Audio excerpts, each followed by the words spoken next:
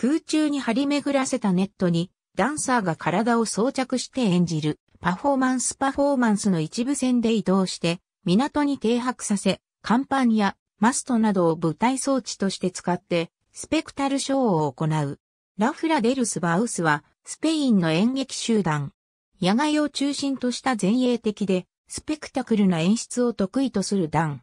1992年のバルセロナオリンピック開会式の演出で世界的に有名になり、その後、オペラ、演劇、映像作品の演出も務めている。1979年、スペインのカタルーニャ州で子供向け街頭劇団として発足。パレードやサーカスのようなパフォーマンスを行っていたが、1980年代半ばから破壊的でカオティックな前衛的活動を始める。1989年、初来日。横浜市の新山下倉庫内を駆け回り、生肉を引きちぎり、血や水が飛び交う過激な作品、鈴、王、鈴でデビュ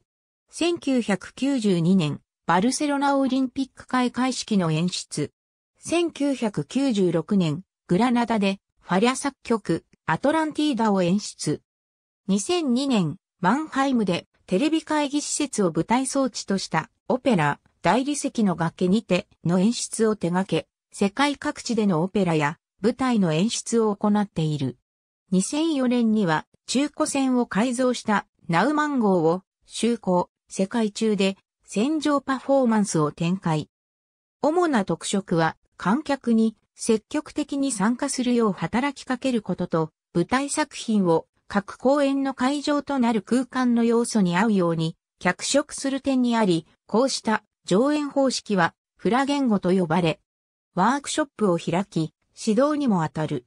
フラ言語を使った最初の演目は、アッコサイオンズ1984年である。